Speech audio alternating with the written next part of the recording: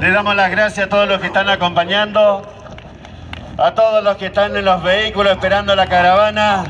a los enfermeros que tienen que ir a trabajar ahora a las 2 de la tarde, a los que salieron de noche de sus guardias nocturnas, a los que están sobrecargados de trabajo, a los que están todos los días viviendo el estrés, cuidando de no contagiarse y no contagiar a su familia, a los enfermeros que hoy en día están poniendo todo lo que saben, todo lo que tienen y han sido preparados para este momento, para cuidar a la población. Los enfermeros estamos aquí una vez más para ser escuchados, no para pedirle a la población lo que sabe que tiene que hacer,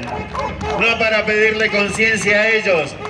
pero sí para decirles a, las autoridades que nos escuchen,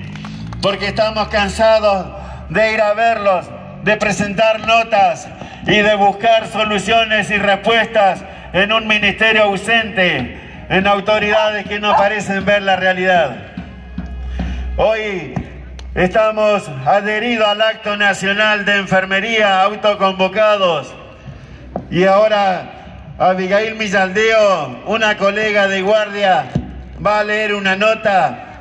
Seguido a eso, nos vamos a adherir al minuto de silencio por los enfermeros fallecidos en el país y también por nuestro compañero René Méndez, el primer enfermero fallecido aquí en Río Gallegos.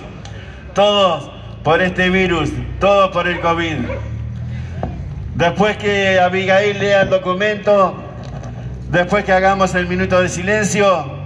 vamos a salir en caravana Vamos a parar en casa de gobierno y vamos a entregar un pedido de audiencia directamente con la gobernadora, ya que nos dicen desde el ministerio que ella decide sobre todo, decide sobre los contratos, decide sobre el ingreso de personal,